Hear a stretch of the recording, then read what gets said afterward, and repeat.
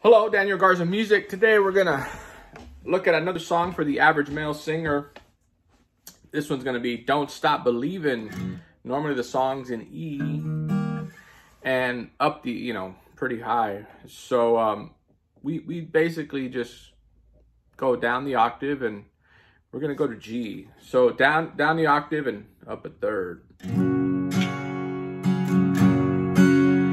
Just a small town girl living in a lonely world. Okay. All right, so G, D, E minor, C, G, D, B minor, C, and I do my B minors kind of like.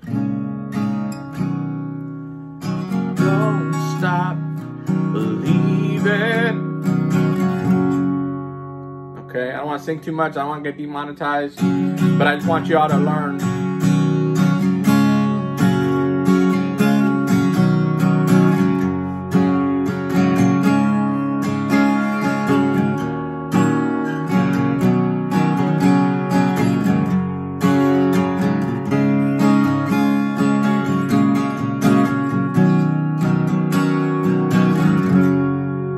Good luck. Take care.